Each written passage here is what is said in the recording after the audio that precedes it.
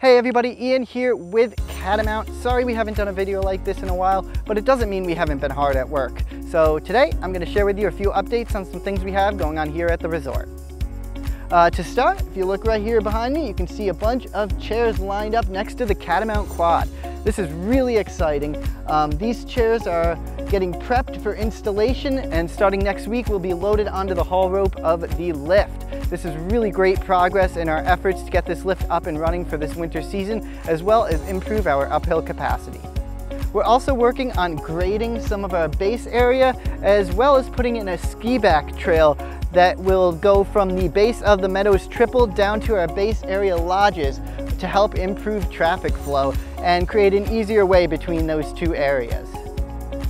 We're hard at work preparing for winter and we want you to as well. So this is a reminder that our season pass prices are good now through August 31st. Starting September 1st, prices will go up. So be sure you purchase your pass soon for the best deal. With all this talk about winter, it's reminding us that there are only a few weeks left of summer. So come spend a summer day at Catamount, enjoy our zip tour or our aerial park. Both are still open six days a week through Labor Day weekend. After that, we will be going down to weekend operations.